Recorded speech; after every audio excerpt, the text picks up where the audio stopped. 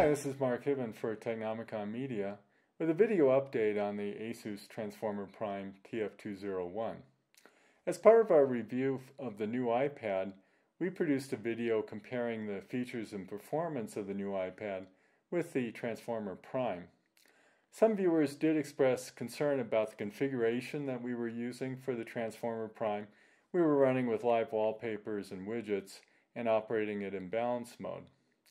Now, I think the whole point here is to provide a realistic comparison of the devices the way we could expect them to be used by the consumer. And I think consumers are going to use live wallpapers. I, I think they're a cool feature. And I think they're going to tend to operate the device in balance mode since that conser conserves battery life. But for our review of the Transformer Prime in our website, we decided to go back and retest it using some of the suggestions that we received for the configuration of the Prime. And uh, I have it right here, as you can see now, uh, we're just running the standard ASUS wallpaper and we're not running any widgets. But before I get to the results of the testing, what I like to do is walk you through the configuration so that everyone understands exactly how we're doing the test.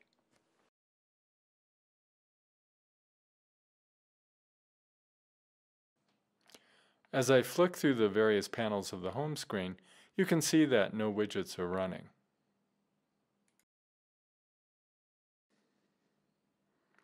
Also, the flame icon indicates that the prime is running in performance mode.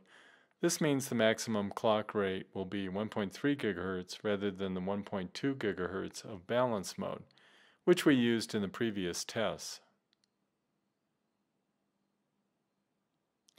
In the Settings app, we've gone through and executed a force stop and cleared the cache on all apps as we show for Amazon Kindle. In the developer options, we have 2D hardware acceleration enabled. The Don't Keep Activities option was also enabled for the application launch tests, but not for Passmark performance test benchmarking since this caused the app to crash.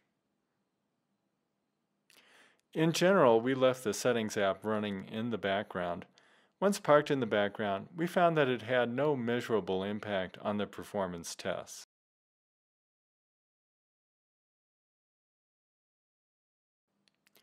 We start the application launch testing with Amazon Kindle, then Google Earth,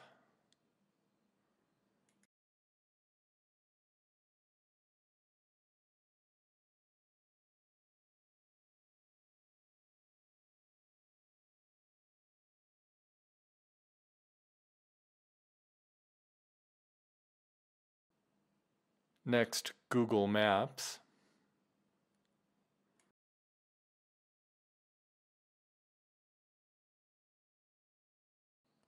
Then YouTube.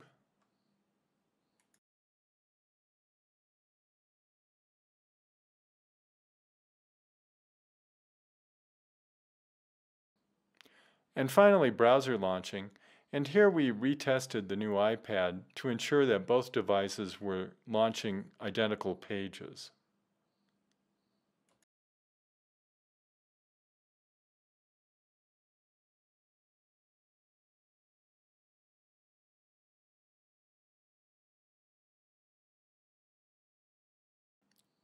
Next, we look at navigating within the browser from the CNN homepage to the Technomicon homepage.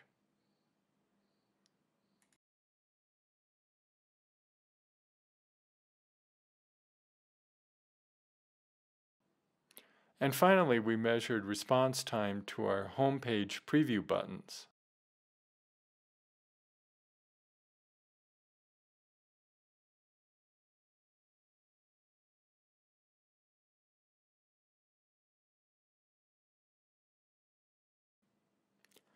In our mobile device performance summary, we show three different configurations of the Prime. Configuration 1 was used for the previous round of tests and had live wallpapers, widgets, and was set to balanced mode. All apps were stopped using an app management widget. Configuration 2 was the same as 1 except that it ran in performance mode. Configuration 3 was used for the retests in this video. For application launching, Configuration 3 showed no improvement over the first tested configuration and in many cases was markedly slower. For the SunSpider JavaScript benchmark, configuration 3 was also slower, although configuration 2 did show some improvement. Only in the Passmark CPU benchmark was configuration 3 an improvement over configurations 1 or 2 for the Prime, although it wasn't enough to better either the iPad 2 or the new iPad. In the review on our Technomicon.com site, I go into more detail discussing the various factors that may be impacting the Transformer Prime's performance, but here I'll just briefly summarize them. Uh, first, uh, JavaScript implementation. The latest build of Android 4.0.3 was used for configuration 3, and this was a change compared to configs 1 and 2. It did seem to take a step back in terms of JavaScript speed, and this was evident both in the SunSpider results and in the Technomicon preview button response test. Number two, Flash support. Of course, unlike iOS, Android does support Adobe Flash, and this did appear to impact page loading speed, specifically the CNN page load test. For instance, there was an ad that seemed to take a, a long time to load on the page. Number three, thread management. Of course, the Tegra 3 offers four processor cores, but Android apps may not be able to take full advantage of these for any number of reasons, including uh, for instance, the app code doesn't support multi-threading, or because the OS itself may limit the number of cores a particular app can use. And then four, and I think this is actually the most important impact, the application architecture itself in Android. Now to illustrate this difference between Android and iOS, I've prepared a simplified flowchart illustrating both the app creation process and the OS runtime environment. Here I'm showing the development flow for a typical Android app based on Java and using a third-party IDE called Eclipse combined with the Google-provided Android Development Tools plugin. The output of this process, unlike for iOS, doesn't actually produce machine executable code. Instead, Android inserts a Dalvik virtual machine into the front end of every running app. The purpose of the Dalvik virtual machine is to convert the Android app's generic bytecode into the machine code of the target processor. This affords developers greater portability, especially for Java apps with which Dalvik is supposed to be compatible, but at the cost of some execution speed.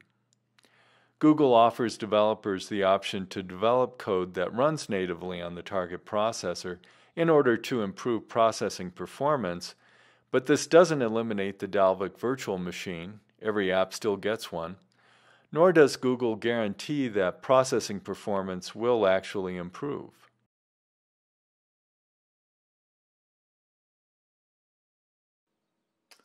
Our takeaway from the new iPad versus Transformer Prime comparison was that the new iPad was the superior tablet device, and on the basis of the retests, we see no reason to change this.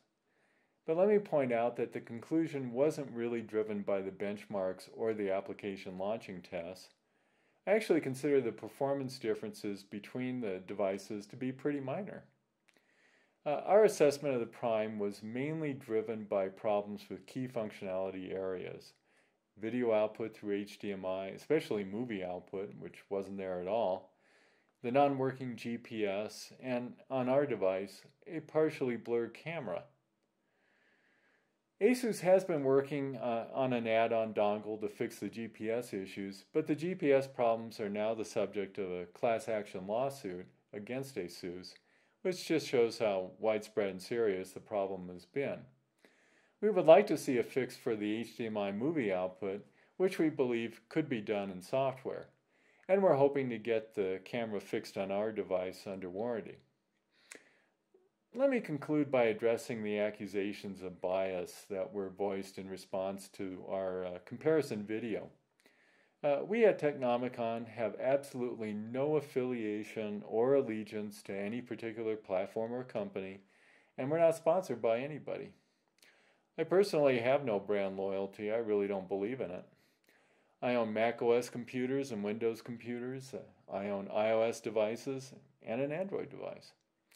Companies like Google and Apple are making billions of dollars off of us. And while they love to encourage brand loyalty, I don't think we owe it to them. Uh, our sole interest at Technomicon is to equip you, the consumer, with the information you need to make informed decisions about the devices that we review. Now, there is a widespread bias in the tech review business, especially uh, on the internet, but it's a bias in favor of never saying anything bad about anything. Now, how does that work? Well, in the internet tech media, there's an intense competition for eyes on page and most sites try to win this competition by being first or among the first with a story or a review. Most of these reviews come out well in advance, as you might notice, of the product actually being released to us mere consumers, which means the reviewers had to get advanced samples from the product manufacturers. The manufacturers pass these samples out like candy because to them it's all just product placement advertising. Now, I'm sure there's no explicitly stated quid pro quo, but there really doesn't need to be. Will a reviewer risk antagonizing a company that provided a free review sample by giving a bad review? Eh, I think most of the time they won't. So most reviewers soft pedal problems or simply ignore them. Plus, the time pressure on the reviewers is so great that uh, the testing of these devices is often pretty superficial. So Stuart Miles can get on CNN.com and declare that the Transformer Prime is a viable alternative to the iPad on the basis of how much time did he spend with the device? Uh, it couldn't have been much. But probably millions of people are going to read what he wrote and actually believe him. That's not how we do reviews at Technomicon. Uh, we purchase the devices outright, so we're not beholden to anyone. Rather than being first with a review, we're trying to be the best and most technically in depth and comprehensive. We're not perfect, of course not, uh, but we are willing to listen to constructive criticism and act on it as, as we did for this follow up uh, video on the Transformer Prime. We'll continue to follow up on the developments with the Prime. Uh, uh we'll provide updates on the GPS dongle fix when it becomes available. Uh, and we'll let everyone know how our warranty repair on the camera turns out. That should be interesting. And of course, we'll keep everybody posted on the status of the class action lawsuit as well, uh, either on our website or, or through video updates. This is Mark Hibben. Thanks for watching.